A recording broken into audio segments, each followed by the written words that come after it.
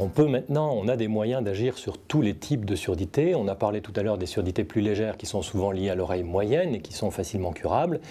Donc les, surdités qui sont de traitement un peu plus compliqué, ce sont celles qui touchent l'oreille interne,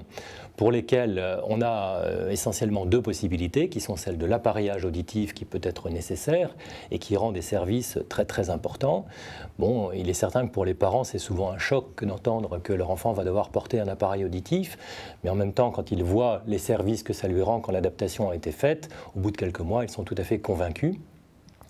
Et puis, il y a aussi le problème des surdités euh, profondes, voire sévères. Donc, une surdité profonde, c'est euh, un enfant euh, qui n'entend au-delà de 90 décibels, c'est-à-dire déjà des sons très très importants, la voix criée pratiquement.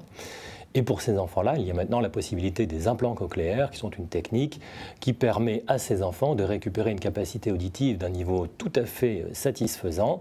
mais euh, qui reste quelque chose d'assez complexe dans sa mise en place et dans l'éducation au langage. Donc l'implant cochléaire, euh, c'est sur le plan technique une électrode qui sera introduite à l'intérieur de l'oreille interne, mais qui communique bien sûr avec un système externe, qui est maintenant le plus souvent sous la forme d'un gros appareil euh, auditif rétro-auriculaire dans lequel est concentré tout le système technologique.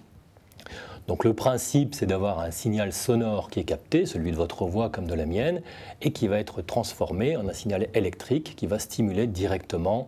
la cochlée, c'est-à-dire les fibres terminales du nerf auditif.